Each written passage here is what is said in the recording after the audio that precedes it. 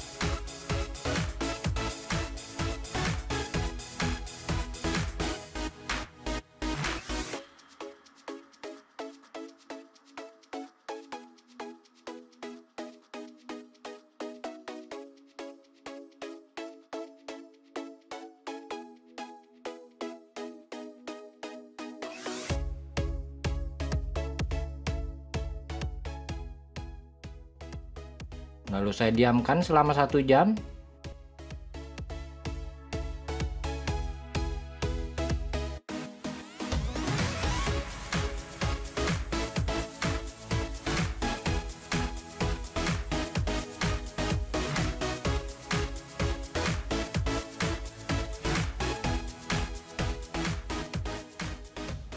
Dan bila tidak ada masalah, baru saya naikkan seperti ini.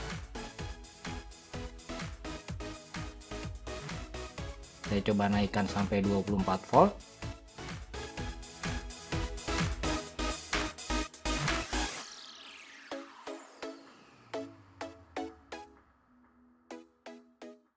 Besar arus terkadang besar karena ini hanya berkedip sekejap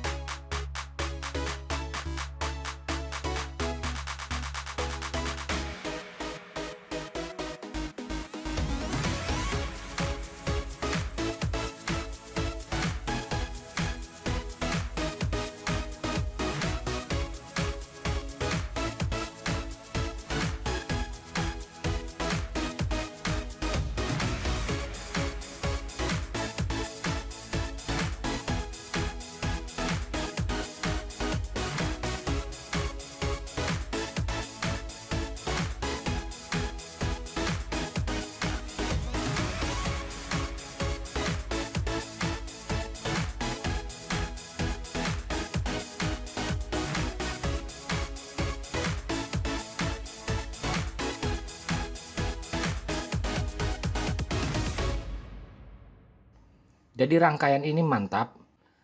Bagaimana rangkaiannya? Sebelumnya kalian jangan lupa untuk mendukung channel kita dengan cara subscribe yang belum pernah tentunya.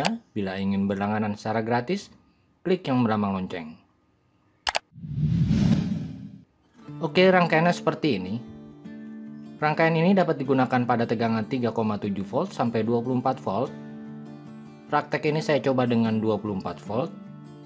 Semua komponennya sama dengan tegangan input berapapun, kita hanya mengganti besar R1 ingat komponen tidak ada yang dirubah kecuali R1 dan beban tentunya. Dan contoh di sini saya menggunakan MOSFET IRFZ44 bisa apa saja yang penting MOSFET kanal N. Dan khusus 24 volt kalian bisa gunakan HPL 10 watt. Kalian pasang secara seri seperti ini.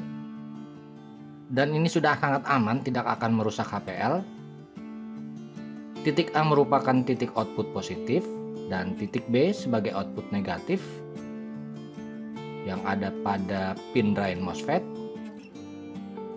Bila kalian menggunakan tegangan 3,7 volt atau lithium 18650, kalian bisa pasang seperti ini.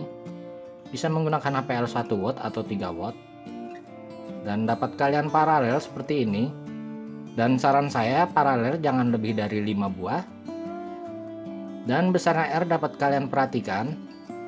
Sebetulnya sudah sering saya memberikan cara perhitungannya, tapi tetap saja kalian bertanya, jadi sekarang saya beri nilai fix saja R-nya. Kalian perhatikan pemakaian besar resistor untuk 1 watt dan 3 watt. Sebetulnya bila rangkaian ini berjalan, resistor di sini tidak diperlukan. Jadi resistor ini diperlukan agar bila terjadi short circuit, HPL tidak akan rusak, jadi aman. Bila kalian menggunakan tegangan 5 volt atau power bank, rangkaian caranya sama seperti 3,7 volt, hanya saja besar R-nya yang berbeda. Begitu juga untuk tegangan 6 volt dan 9 volt kalian perhatikan.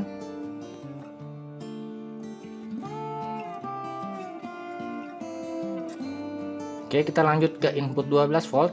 Kalian bisa pasang seperti ini. Dan ingat banyaknya paralel maksimum 5 buah. Atau bila menggunakan APL 10 watt bisa langsung seperti ini, tidak perlu resistor. Oke, untuk 24 volt sama, tidak perlu R, sudah aman. Tapi jangan lupa kalian seri HPL 10 watt 12 volt seperti ini. Lalu cara penyolderannya bagi para pemula. Pertama solder MOSFET dengan transistor BC547, emitter ke source, dan kolektor ke gate.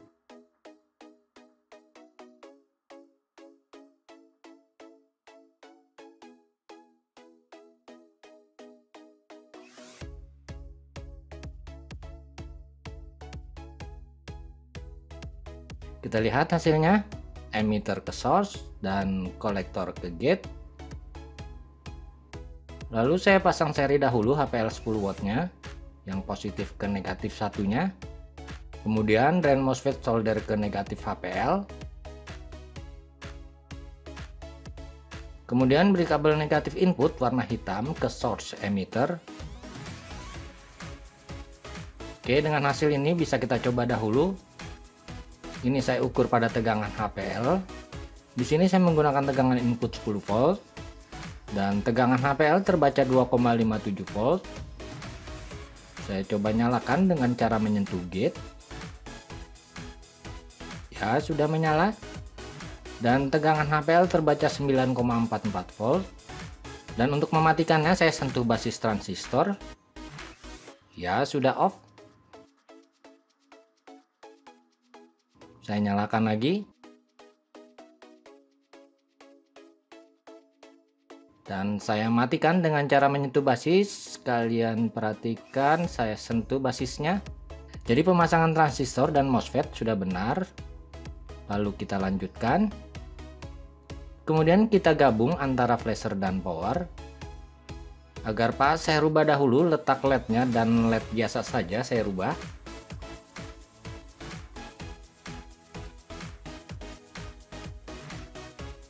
Kemudian source MOSFET solder ke pin 2 opto, ini sebagai titik negatif. Lalu saya pasang transistor kedua. Saya solder basis dan kolektor. Dan kedua emitter digabung. Perhatikan basis ke kolektor dan emitter digabung.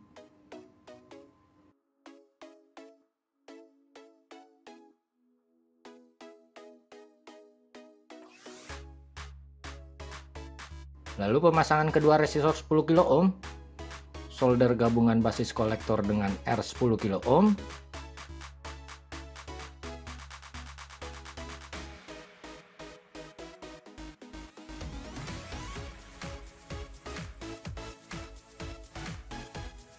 dan ujungnya ke VCC yaitu kaki anoda LED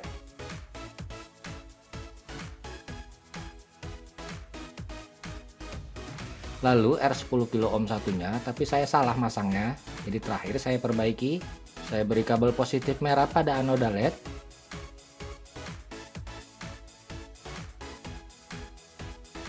Lalu resistor 100 kilo ohm. Ke gate dan VCC saya solder ke VCC dahulu. Satunya ke gate kolektor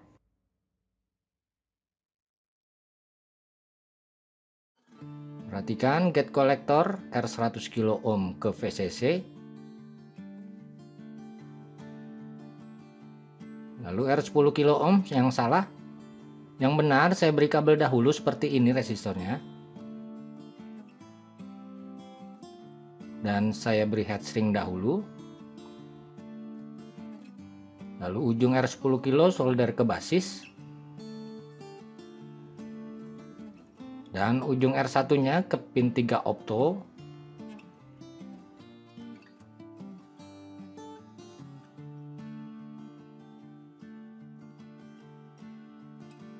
Oke saya solder R10 kilo basis ke pin 3 opto. Sudah selesai, mudah bukan? Ingat kalian recheck dahulu sebelum mencoba. Bila ada kendala kalian komentar saja pasti saya jawab. Terima kasih telah berkunjung. Wassalamualaikum warahmatullahi wabarakatuh.